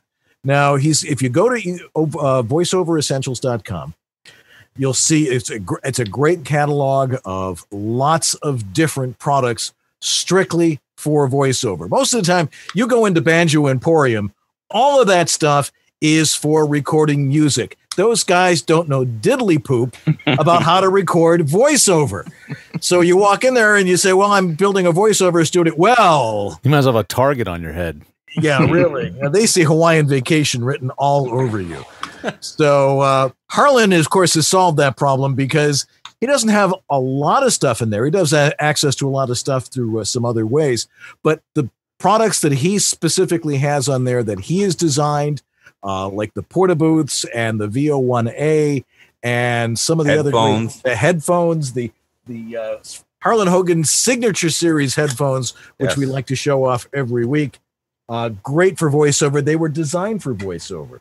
And so, since it was designed for you, perhaps you should try it. So, go on over to voiceoveressentials.com. Tell them we sent you. And the way you can do that, if you're on our homepage here, our eWabs homepage, there is an actual link at the bottom of the page that if you click on it where it says Porta Booth and stuff, he'll know that you came from us. We're not making any extra money off of that, but we want to make sure that people who go there tell you know tell Harlan, hey, we heard it on eWabs, and he of course will go, yeah, so. Uh, no, he will he will take good care of you, and that's he should start important. throwing candy in the boxes when he sends stuff. That's a good idea. Anyway, thanks, Harlan. You've been with you've been great, and uh, he'll be with us forever. Thanks, Harlan. Really appreciate it. All righty. Let's move on to some of the questions. Everybody's back from their potty breaks, and uh, we can uh, go to some of our audience questions. And let's start off with the first one we have here that was sent in to us from all the way from España. One of our favorite guys, Ted McAleer. Oh, yeah. Ted McAleer writes in. Uh, he says, "Hey George, Dan, and all assembled audio giants." I'd like a few ideas about something that I have to do from time to time the tedious job of removing slight peaks from a recording prior to normalizing. Now, I'm not just talking about clips, but sometimes I get a peak of minus two or minus one and want to just lower it by 2 dB usually. The way I do it now is to look at the clip overall and I can spot them and just highlight the peak and lower it, which is, you know, pretty much what I do too. This is a problem with really large files. Is there a way I can wave a magic wand and have something identify any peaks within, say, minus two so I can lower those to a set amount? In other words, a peak of minus one dB gets a 2 dB reduction, if that makes any sense. Any thoughts? I can answer that. Go for it. Uh, just use a limiter. Yeah. Buy a limiter, and and uh, if you're properly, if you have a musical limiter, you know, a good limiter that has a good quality to it, you should be able to reduce peaks up to you know three or four dB without hearing too much, especially if those are intermittent spikes that happen. Uh, lots of little yells and bits of s's and things that come up. You shouldn't be able to hear much of a difference with that. So Pre or post? pre or oh no, this is post for sure. Yeah. Oh. And if this is just if you're normalizing for an audition, if you're going to do extra work afterwards, then the limiter is sort of moot at that point. You're going to use it for other things. But if you're just simply recording a take and need to limit it so you can get it up a little bit hotter, yeah, limiter is great, especially for 2 dB reductions. Nice Jordan? quick attack. Yeah. Oh, yeah, on that and lim- your threshold yeah. and your ceiling should be the same. Don't uh, don't decrease your threshold below your ceiling so that you're actually compressing. Um, keep them at both for the limiter to use just the limiting function. Yeah, I, I agree on the limiter thing too. And as far as doing it in post with a plugin, I've played with a lot of limiter plugins to find the most transparent one that I can either just lightly tap or even aggressively use when I do some demo production stuff and music when I when I'm mixing music. But the most uh, out of all my testing that I've done, and, and it happens to be the cheapest. It's not free, but it's damn near free. It's called uh, Tone Boosters. I think it's two word Tone Boosters, and the plugin is called Barricade, like a wall barricade. I think it goes for 35 bucks. It's whatever that is in euros. It's the guy, it's like some dude in Germany who makes these killer plugins. It's often And- a guy in Germany, I've noticed. I know. I think his last name's Neumann or something. I don't know, but um, he uh, it's 35 bucks, and I can I can seriously crank a VO track and do like six to 12 dB of reduction limiting, and you can barely like hear it pumping, or, or and and with no artifacts at all. So that's my favorite limiter of choice. I just want to throw that out there to the voice actress who it's it's it's phenomenal. I cannot and I, and the other optional one is uh, the FabFilter Pro L. I know Cliff's a fan of FabFilter stuff. The Pro L's are Yes, I am. transparent limiter. Those are the two that I on- I find that work well on VO that you can tap or crank uh, and, and make it sound like a '90s radio track again. Uh, but I, but I would say like to Mike's point though, I mean, if we're only talking about re- reduction like three dB, and uh, you're you're making sure your threshold isn't really crunching stuff into compression territory, then uh, whatever came with your DAW is probably going to be able to pull that trick off without. I agree. Yeah. Yeah, it's uh, it's usually pretty simple stuff. I mean, it's you know in Adobe Audition, it's easy to just highlight it and take it down and right uh, you know and go across the file. But he, he is talking about a large file, and is there a way to automate that? He was talking. He, he wanted to mention um, iZotope RX4. Uh, Different has- tool. do that. See, he's the one I was talking about. I taught him about highlighting and bring the peak down. So, uh, you know, I like I like to do the the old school way. You know, just I find the stuff you want. I don't want to put it over the whole thing. Depends what you get paid per hour for engineering. Well, that's The Pro Tools not, like, 10. not like engineering hasn't been radically devalued over the last. Yeah, not like you know, not like voice actors. oh, to even voiceover people are doing it now for crying out loud. Yeah. Oh yeah. it's, Uh, Pro Tools 10 and Pro Tools 11 has a, a new feature called Clip Gain, which uh, for me I deal mainly almost exclusively with 30 and 60 second spots. So sitting and pulling down clips or uh, you know boosts within 60 seconds is not a big deal. But the Clip Gain, excuse me, works within the region. Highlight what you want, bring it down, a little fader. You actually see the wave file go down, and you can match it to what's surrounding, and it's it's amazing for long form. You know, suck it up and do it. But I, I'm, I'm, I'm I'm afraid to have anything do everything for me. Right. You know, I, I like a little bit more control and You're a uh, purist. Proper amounts of limiting uh, before getting into the actual, or I'm sorry, proper amounts of compression before getting into the limiting part is is Yeah. something that uh, should be investigated. And uh, simple thing, four to one minus 12 dB. You know, if you have to bring your makeup gain anything more than two or three dB from your original in and out, you're compressing too much. I think. I'm so All proud right. of Avid. They they they finally uh, got clip gain. You know, after 15 years of everyone Yeah, no kidding, huh? Wow. I just everything is everything is new again. All right, Yeah, I Justin. do the I do the same thing actually on my S's a lot. I don't know if you if you Oh, I do. S, but I I can definitely do. reduce an S by three to four dB and clean it up, and it sounds great. Then works great for Um, and that's easy to spot because it's a regular waveform. And breaths It too, works. yeah. I'm sorry. It works great for breaths too because you're not removing the space. All you're doing is just lowering it down four or five dB, and you're still hearing, you know, the, the pause, which is good. Mm-hmm. Yeah, well, I'll use that. Say with the with the spectrogram, you just highlight it and just lower it from there. You you can easily see great. where where where a piece of sibilance is. All right, let's move on here. Judy Fossum has a couple of questions, and this is uh, this is a little bit more to do with with uh, how you how you do some editing. He says she asks, is there a way such as search and replace feature or something like that in TwistedWave to edit out breaths and replace with silence rather than having to do each one by hand. George, you're the expert on TwistedWave. Mm. No, it, breaths are something that you pretty much do have to do by hand. I think. They're Um, subjective whether you want to remove them or not. Yeah. The computer can't figure out. No. If it's Yeah. a if it's a dialogue, if somebody's having a dialogue in an audiobook, you don't want to remove all those breaths. That's part of the performance. Yeah, yeah. You you you can't have a computer decide how to engineer your your your stuff.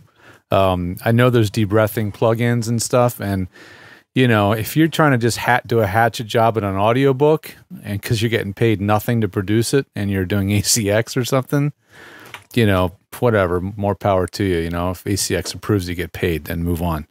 Um, but otherwise, yeah, you have to do it manually. And, and the shorter the script, the more you better be paid, getting paid per word on that script. That's what I think. Because you should be putting a lot of effort into a 30 second spot, national spot, and really, uh, you know, making sure that the breath really does that breath really belong there and then removing it if not. And I use either the silence tool or I use the amplify tool by hitting F and just bringing down the breath by minus 12 dB or something like that um, and uh, you know that does a pretty good job.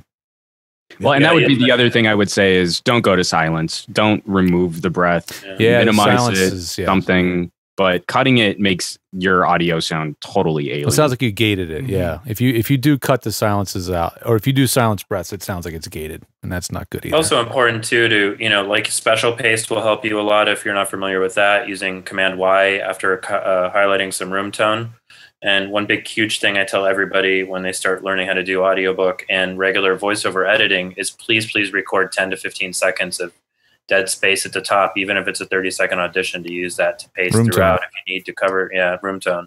Everything I do, there's a 10 second pause at the beginning of every take. And it's a good time also to really listen back. That's your QC, your quality control pass, you know. And if you've copied your room tone, that's when you get to listen back over headphones or speakers and hear. And you'd be surprised at how many bad edits you make um, that you'll never catch if you don't actually sit and press play and listen back to what you're about to send somebody. And if that's your finished product, you better, you know, make sure that that's going to be a good product. And that means you have to play it down and listen to it.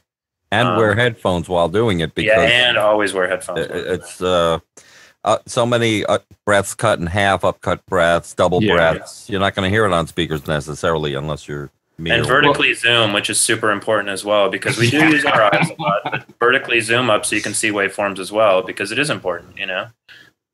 So we've got a comment here in the chat. Amy E. Fisher, marketplace websites ask for debreathing your audio. And I really think that goes back to also the aesthetics of what you're trying to achieve. If you're taking these really deep cleansing breaths or these little hitch breaths or, you know, just to oxygenate as you move through a piece, that's different than a character motivated breath or something that's a part of the storyteller flow and it will interrupt the flow of that piece if you go through and, and alter the audio too much. And this is this is why I don't think you can have any one size fits all. There's no rule, first of all, and then I don't think there can be any one size fits all computer automated system to help you go through this process because anything that takes the reins on that is probably going to do more damage than good over the course of an audiobook. Yeah. Yeah. Of course, the worst part is a horrendous run on sentence where you just, just run out of air in the middle of it. And you're like, what is this guy thinking? All right. Now, here, now, now, Judy has a second part of this question, which is something that I deal with all the time. She goes, Can you create batches in TwistedWave? For example, a 40 minute file needs to be broken down into 40 plus files named X1, X2, X3 markers. It's just really really simple with markers. You you you create a space with a marker in the middle and you click on this little thing on the top. We can show you how to do that. And you just as you're going through and editing the file just name each one of those markers and you go split by markers and suddenly There's- you've got 40 There's numbers also word to wave Word to wave if you're on software, PC. which will Windows. import your script and the fakakta file names, which are crazy. fakakta, you know. that. Um, yep. And the so it'll import the file name and the script. You read off the, the page. You read off your screen. You click finished, and it'll save as. Put the file name on it, and uh, you're done.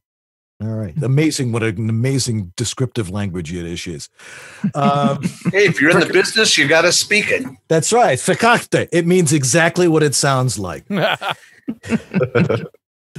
anyway, okay. Deb Irwin asks, I guess this is somewhat personal. Uh, what do you believe if all your engineer gurus don't agree with each other?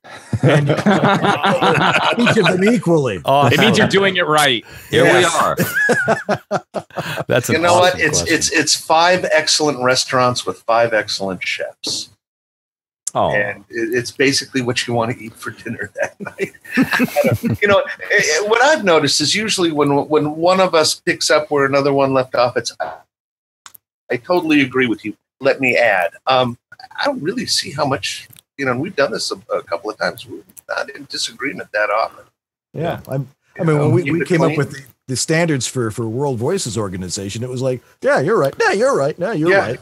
It When- was, when- it was we- all pretty simple. I mean, we, we all pretty much agree. There's there are no rules, but there certainly are a lot of Guidelines. rules about it. And Well, guidelines. a professional person too a professional audio engineer won't put down other people either and i see this all the time because they deal with a lot of new people who have a lot of hearsay from lots of other people Yeah. and a professional person who's in the business to do you right will say exactly um, exactly what was just said was you know i, I believe what they're saying is true. Um, there's some things we can add to it. And for me when i teach people i always give them the reason why because i always need it and i never got it when i was a kid and i hated it. Um, and so i give them a little background on why i'm telling them what i'm doing and why it works and why it doesn't and some of the detractions from it as well so that they you know have an idea of why they should do a process or not do a process or why it's a good idea Well, and also, I oh. think that we're we're sort of talking about an art. I mean, just like your actual performance, this is a technical art, And so that means there's a lot of room for the artistic interpretation of what you're trying to achieve with these technical pieces of gear, with the, the scientific pieces of gear. So to say that there's some right way to do that is is usually the first thing that I'll hear, and I'll immediately think, well, that's suspect, and I don't really believe that. But then that's also one of the reasons why when you start getting all of these differing pieces of input, they're all probably not wrong. That doesn't also always mean that they'll be right, but that's an opportunity for you to take all of this information in and make a calculated decision on what it is that you, as the performer, as the voice artist in your own home recording situation, are trying to achieve. So you have more information to make that choice. Um, it's usually never a situation. It's why I refuse to answer questions like, "What mic should I buy?" Completely, you know. Hey, like- well, we've never heard that one. yeah. So it, it- it's it, it- it's always an opportunity, and I think it's a wonderful opportunity if you've got people in your circle who disagree on various aspects of this recording process, because you're probably getting some really good information that a lot of it's going to overlap in that great Venn diagram way, and then you get to pick out where those pieces of interse- information intersect for you to make a better decision on your own recording process. Absolutely. I, I mean, I don't know. Your your dynamic mic is making me feel uncomfortable. Juan, I, I do disagree with. That. I'm just kidding. I really am kidding. though. You're wrong, but that's fine. No, you're right. What's fu- you know what's funny, Juan, is I almost brought up my SM57 because I knew it was Oh, going to be dude. my, I knew it was going to be in my family room. But I'm like, I want to use my new handmade mic and like show off to all my audio buddies. And then you show up with your SM57. Rocking, rocking the I- I've got a 57. mic locker that's worth more than my car, and when I record in my office, it's this. Don't make me drag out my RE20 that you know, that I stole from the last radio station I was at. Steve, what do you think? You, you're, you're, you, we don't get to hear from you much, but we'd like to hear what you think on this. ultimately there's no one way to do anything uh, when it comes to recording uh there i think when you're dealing with a crew like us and uh, we're all throwing out ideas every one of them will, will get you where you want to go.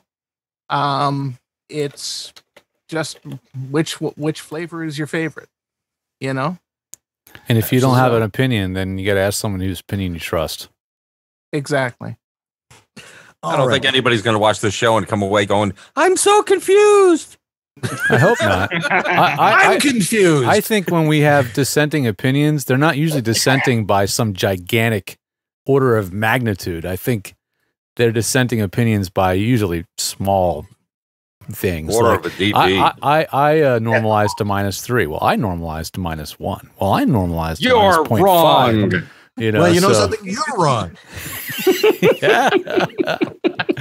Well, I, I think that I think the question really is that it's a matter of perspective because a lot of us do very very different types of things. You know, Cliff, you do the audio commercials, and and uh, you know, and I do a lot of e-learning work, and uh, you know, and and you know, Roy, you're you're a sound you're you're a sound designer, and and we all have a slightly different perspective on it. But again, if we all end up in the same place, who cares? Because most of the people out there that are receiving audio, I think the majority of people don't really know the difference unless it really sucks. Yeah. Does it sound good? Right. It better. Right. As long as it's not distracting from your ability to perform the the the uh, the copy.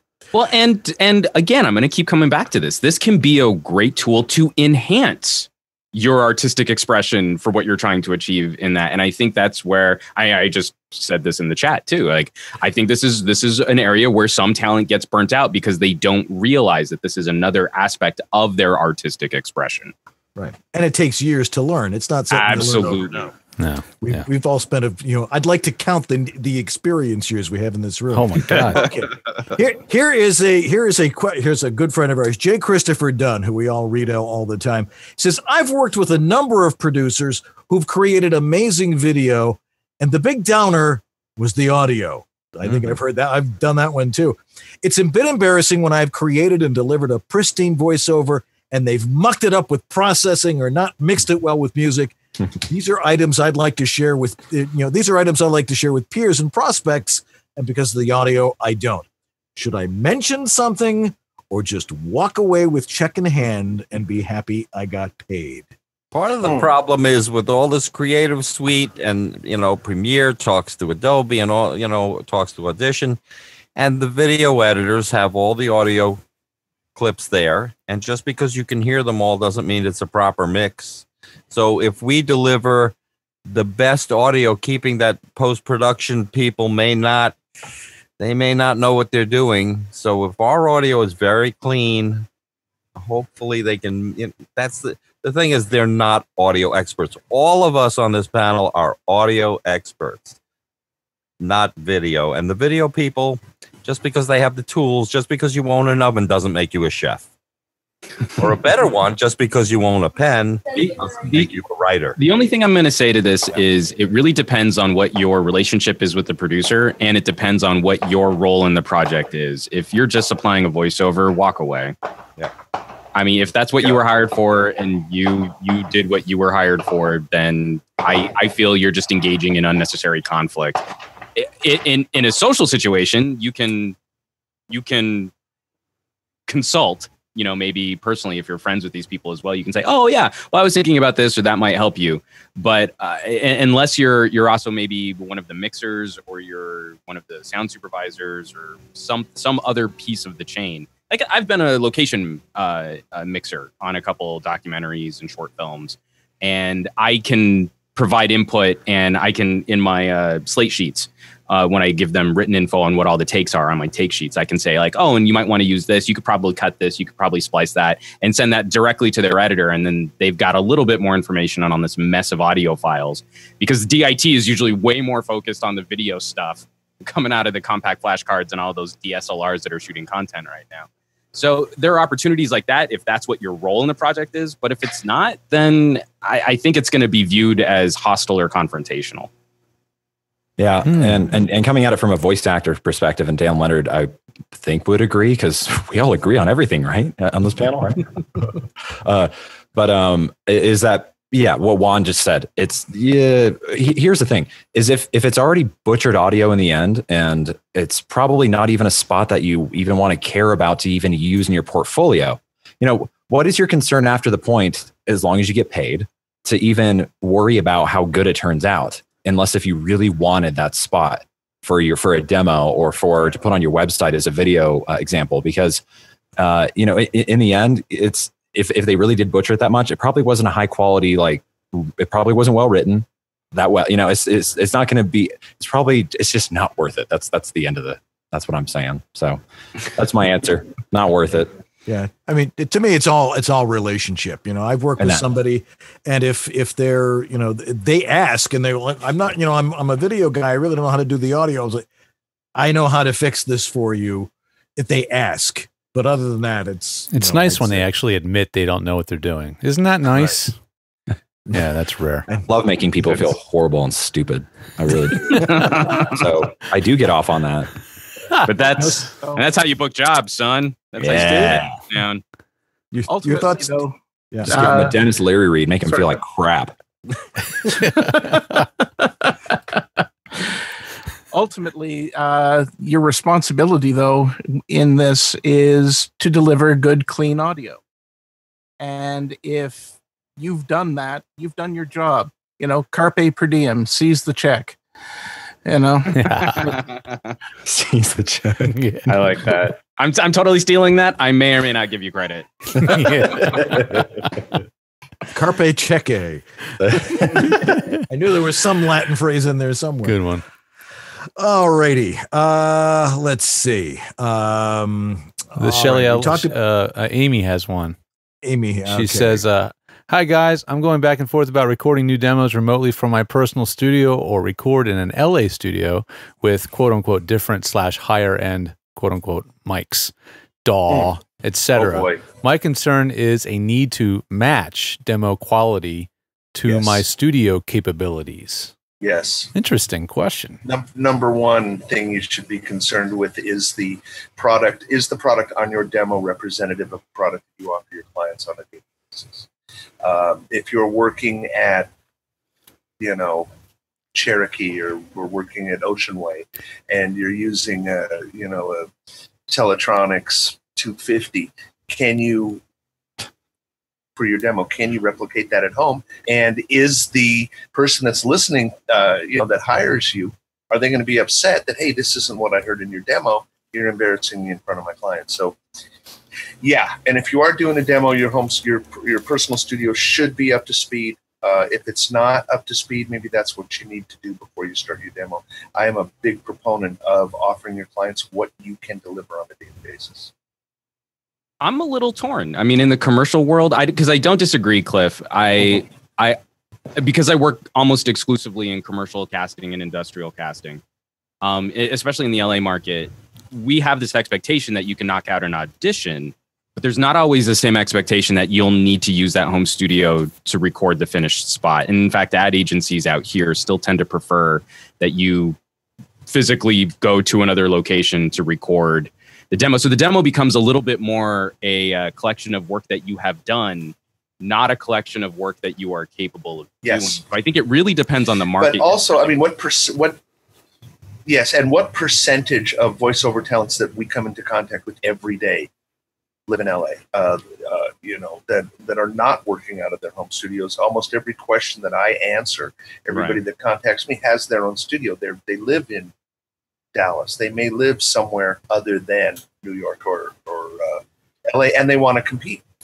Right, but that's that's why I would say that the, the caveat to that would be what market right are you doing this business in? Because if you are in one of those major markets and you confront the costs of lining up studio time, if you have to front studio costs, then I don't necessarily think it's it's necessarily a bad idea to put finished production grade audio on your demo. Oh, finished grade production audio, absolutely. Are we also talking about maybe these people are going to be building spots at home as well? I would think. Yeah, but I would they- think no. They- they- I would hope they weren't Or, until they know or, what they're working doing. remotely with a demo producer. Yeah, ISDN or something Because- like source yeah, because a lot of the talent that I, uh, most of the talent demos I've done have actually been remote.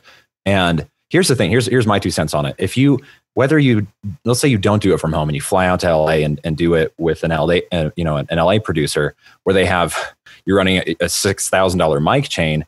The thing is, is if you go if as long as your home studio, if you have a a good sounding like three to uh, at least probably typically you can get a damn good mic at least three hundred dollars and above, and you have a good audio interface, two hundred bucks, and you have good acoustic treatment or a, or a nice isolation booth that does that sounds good acoustically and doesn't have noise like fans getting in, you're going to be able to reproduce in air quotes. Don't you love it when people do that? I do it all the time. Uh, reproduce that quality to an extent that no one's ever going to play your demo. And then if you have what I just listed um, in your audition that you submit to them, they're gonna be like, um, it's I could tell you're using a 416 running through an Avalon M5 with a compression ratio of four to one, and there was two dB of reduction, and uh, it's definitely not what I just heard in your audition. So uh, we're not going to hire you. You know, I, mean, can totally tell all of that off of my MacBook Pro speakers. Yeah. right. And your your demo, you're not demoing that you can do production. Exactly. So, Yeah. Theoretic, they they are theoretically finished pieces that went to a studio or post production person with your clean audio that you may or may not have recorded at home, and that's and it represents a finished uh, spot. Yeah. So that that's my two cents on that. Yeah. Makes sense to me. All right. Well, I think we're we're we're pretty much running the gamut here. I think what we'll do is we'll stay on a little bit after the show, and we'll just you know, we'll, if people want to hang out and, and, and talk a little bit more. Uh, but uh, not everybody can stay up that late here on the East Coast. uh, but anyway, Such a wuss. I know. Yeah. Come on. I thought, I thought that mustache was like all power and and like you know you could just stay up all party all night. I wasn't talking about me. He's not talking about me. Is, No, is the guy with the mustache? The party went till two thirty a.m. I know. I- my most creative time is like at one in the morning, but you know, I'm usually Yeah. getting, where are you at about twelve thirty? So anyway, uh, why don't we go around the horn here one more time and and everybody uh, sum up what they what they think and and their best advice to everybody uh, for uh, the to finish up this roundtable. Why don't we start with Steve? Uh, first and foremost, don't be afraid of the tools. Um, the worst thing that can happen is you have to re-record. Um, get in there, get your hands dirty, and learn how the gear works. It's uh, it can it can be a lot of fun. So, uh, of course, I'm only assuming you'd have to be like me to find it fun, but. Uh, but uh, honestly, you know, it's not that difficult. Get your mitts in there and have a lot of fun with it. Cliff? Learn as much as you possibly can. Practice as much as you can. Um, give us the audio that requires the least amount of surgery. Uh, if you process, we don't want to hear it. Um, when labeling your files for an audition, follow the instructions very, very carefully. To the letter. Bring that up when we were talking earlier about auditions. And most important thing, keep it fun. Gotta always be fun. Because if it ain't fun, we hear it. That's right. Mike Varela. Yeah, I, I want to echo that too. Just uh, spend the time, you know, learning. This is a career choice, and if this is what you want to do with your career, it's up to you to know the art aspect of it, but also the tech aspect of it. And things come with time. I see a lot of people who are very new and, and they're very rushed, and they want to get the uh, the things out of the industry that don't come to people who are very new yet. You know, you really need to put the time in and the effort and be humble, um, and not rush a demo early on, and really listen to lots and lots of prior art, but listen with open ears and not to just, you know, whatever you hear out there. Really sit and analyze it and try to figure out what people are doing professionally and ask lots of questions. I think the roundtable here is really great, and I think EWABS is great, and I think having a singular source of information is important. I think lots of people give lots of advice, especially people from retailers out there, um, and some good, some bad. Um, but you should definitely weigh all of that and make an educated decision. Um, I turn people to uh, to uh, I usually give people when they're first starting out folders of examples of things that I find interesting of audio, things that are good examples of things to check out, and I also turn people on to um, Lynda.com has a, a, really great Foundations of Audio series. It's a really great explan- uh, explanatory uh, three set series on EQ, compression, and reverb.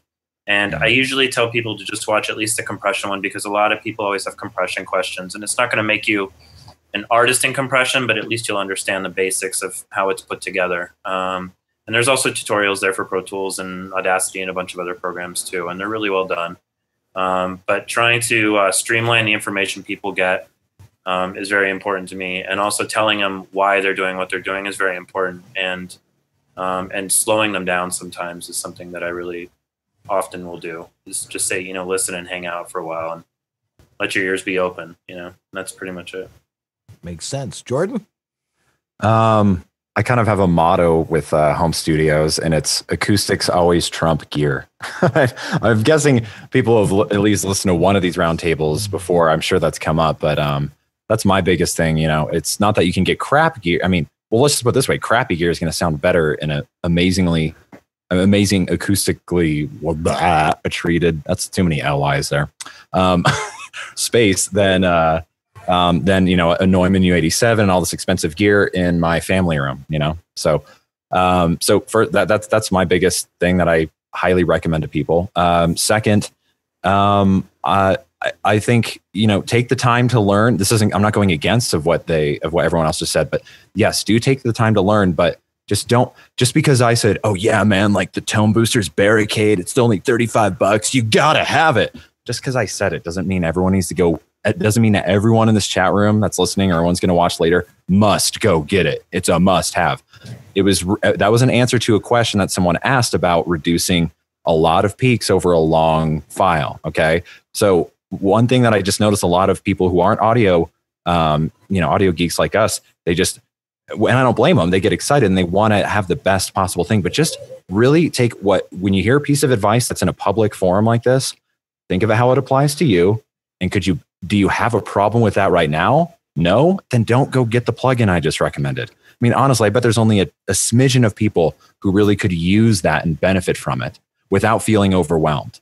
And you really, a lot of people probably don't need it. So that's my biggest thing. Don't go get everything that everyone recommends, like us, only if it applies to you. Just step back first, then make the choice. That's that's kind of my big thing. Wow, ah, that's some good People can get so overwhelmed, and I feel I feel bad for them because there's so much information out there. Ah, really, if you don't know what something is, you probably don't need it. Yeah. oh, and if and if you're a guest, definitely have at least two IPAs because it loosens you up on the show. Go ahead. That's, Go for it. It's work for you. That's that's my Uncle audio. Roy. Tone booster. Let me write that down. I Boost- heard about that boost- somewhere. Ah, Uh, yes. yeah, yeah, you know, I'll kind of wrap it up with saying, yeah, if it's not broken, don't fix it. Yeah. Ted, I'm speaking to you specifically. Ted. He's constantly on on Yeah. the road. He gets he gets fidgety with well, maybe could it be could it be different? Could it be? And his, his audio is pristine, and yet he keeps searching for more new things. Gas. Um, there's more to life than plugins. I'm gonna say he's got a bad case of gas. but but no, his stuff his stuff is great. Uh, take the time and, and you know do some more coaching, Uh, improve your reads because your audio is is fabulous. So just you know, a- and quit cutting out all the breaths. Leave a few in. You know, we breathe, breathing is part of voiceover. I gotta hear it, or I think you're dead. You're you're hyperventilated. You're asphyxiated. So you encourage any air coming from any part of the body. It? Well, it depends on where your mic is. I mean, Oh, okay, got it. Sitting on your microphone. Um, and if you if you want to experiment, that's all great. Remember where your settings were, and if you have a real uh, question, uh, look at all of us. Write us a letter. Send us your samples. Fill Dan's specimen cup. He would love it. You know. I do. Yeah, yeah. So just we're here. We're the resource. We service the entire voiceover community. That's what it's all about. Yeah. I'll leave the last word to you, Juan. Yeah, as someone with a ridiculous collection of microphones that I never use on myself, um, avoid just buying stuff for the sake of buying stuff. So for the newbies, it's this desire to like catch up. You're going to try and and compete at the at, at the top tier. You're not. You know, the, the gear you have isn't going to make you competitive. It's going to be the time and experience that you put into mastering your craft. And like everyone else has been saying here, this goes hand in hand with all of the artistic endeavor that you're working on. What drew you to voiceover in the first place? It's the execution of your artistic vision, just like a painter or a photographer that comes with time and experience. And part of that is also going to be empowering in that it's going to improve your artistic uh, exploration and your artistic delivery. And for the people that are really experienced and that already have a good investment, you know, eh, too often I'm, I'm I'm finding these people that just want that buzz, that want that high of buying something new, getting something exciting. They're working on a new mic. They're changing all of these things because it feels good. And and that's just sort of a, another sort of larger commentary on the nature of our consumerism, I, I suppose. But you know, absolutely, if you've got something that's working and you're executing and you're making money, pay off that investment. You know, make your ROI you know don't don't keep throwing money at problems that aren't there. You know it, it feels good to change things up like that. But more often than not when i find people are saying well i, I really want to buy this compressor i really think i need to do this or i really feel that something in my chain's broken it's usually because they feel like they've plateaued some in some way. And and often that's usually more in a commentary on their actual performance than on the quality of their ability to capture their performance so all of this stuff just kind of interconnects between the art and the science, and and it just takes some time to figure out where you fit into that realm and what your capabilities will be, and how how willing you are to push your comfort level and to push your capabilities there. But you know, it's not like you don't have access to some amazing resources in the in this day and age. When in years past you would have had to have apprenticed. I mean, my first job in anything near the voiceover realm was apprenticing at a radio station and learning mic technique and learning how to cut tape because there was such a huge uh, infrastructure in tape. No one was ever going to get rid of tape, you know. And I learned how to cut drum tracks, and then I've never touched tape ever again. So, uh, you know, if you can at least learn from from some of my mistakes early on, uh, that that would be probably a really nice victory for you. And that's a good way to end it. George, you got any last words? Yeah, um, I when I was at AES show a couple weeks ago, they had a uh, the Focal Press was there with their with their book line, and I, I get people from time to time, once a month maybe, almost always men, and they want to know more about recording engineer recording engineering. They they're voice actors, but it just I think they they, they have a thirst to learn, and they just can't stand just being spoon fed. This is what you do. They want to know more. So I asked them what kind of a book what I they they, they could recommend for someone with a personal studio, and this one popped up on my radar. I've, I've not had a chance to look at it, so this is absolutely take this with a grain of salt. But I met the author of it, and he seemed really sincere. And I flipped through it, and there was a lot of really practical stuff. And it's this book called "Recording Secrets for the Small Studio" by this guy named Mike Senior. Cool. So um, it's centered for per project, uh, personal home studios, and it's chock full of extremely practical information. Um, yes, is it more than you need to know? Absolutely. But if you want to know more and you're, and you're looking for a book to get that doesn't talk down to you and doesn't oversimplify, but really is centered around project studios, which is what you guys are doing. You're using project studios. If you see ever see that term thrown around in gear speak and they talk about a project studio versus a commercial, you guys all have project studios because you're using them for your own projects mostly. Um, a book like this could be helpful to, to clarify some things. It's it's probably the book I would write, um, but you know I'll be writing a book when I'm dead. I think. Um, so that may, so if I had written one, it'd probably be this one. So Is, anyway, is that a sound on sound logo on there? yeah, it is. It's a oh, Sound cool. on Yeah, Sound. I think Mike Senior is uh, like an editor or something for sound. yeah, on. Sound on Sound presents Mike Senior. Recording Ah, cool. Secrets. Yeah, and Yeah, it's Sound on Sound. It's, if, if there's a magazine you want to get, if even if you're not an audio geek, Sound on Sound's a good one because they Yeah. they tend to simplify things to a certain extent. But they We do. got a book that was uh, really good too, George, in audio school, but has been updated almost every year. Modern uh, recording technique. too. That's one of the books that I bought. Yeah, That's it's the old great book. Bible. I got it. Yep. Yeah. The Great Runstein. Yeah. That book's been out for gosh, she's been writing it for 35 years. But it gets Wow. updated, which is awesome. It keeps Yeah. getting updated with new stuff. So yeah. I, I just use my Webster's dictionary and just flip to recording, but that's just me. I don't know. Google. yeah, if it's on the No. internet. There's, Well, great, I there's like- great books out there. Yeah. I'd like to thank all our guests tonight Steve Sisk, Cliff Zellman, Juan Carlos Bagnell, Uncle Roy, Yokelson, Mike Varela, and Jordan Reynolds. This has been fabulous. Uh, you guys just, you, I am humbled in your presence. And uh, even I learned stuff. And that's the most important thing. Of course, if you're not learning, check your pulse. That's right. An important thing. if you're not learning, about. you don't care. That's right. uh, let's see. Well, we've well we go through this pretty quickly. Thank our donors. Guys have been great. Uh, you know, got to keep this thing commercial free from other people's commercials. Right. Uh, so keep sending in those donations. Uh, there's uh, a lot of people have signed up this week, and we, we appreciate that. Um, let's see. Uh, make, sh- make there's going to be a lot of great eWabs essentials out of this one. You know, Oh, yeah, Jack's going to go nuts looking for this. Uh, you go to youtube.com uh, forward slash eWab show. Uh, it's our YouTube channel. You'll find all 162 episodes of eWabs there.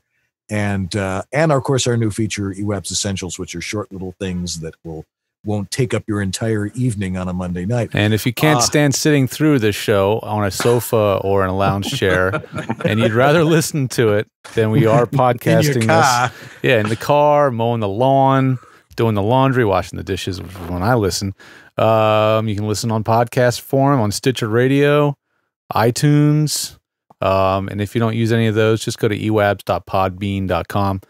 And or any podcatcher you use on your phone, whatever device, just type eWabs. You'll probably find us. And October 27th is uh we're gonna have a fellow named Chris Heward who's a fan of the show. So it's fun to get a fan on once in a while and someone who is making his journey in voiceover. So he's a really entertaining fellow.